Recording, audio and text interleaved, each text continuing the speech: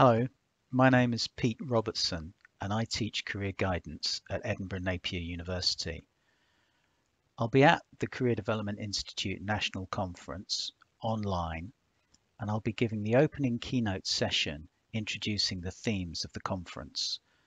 I'll be talking about the United Nations Sustainable Development Goals and what we can learn from them. I'll be explaining how I think the UN goals relate to policy and practice in the field of career development. Most importantly, I believe the UN goals can help us to see the unrealised potential of our profession to contribute to society and how we have more to offer than most governments have realized. Sometimes you've got to step back to see the bigger picture, and that's why I'll be at the CDI National Conference on the 9th and 10th of December. See you there.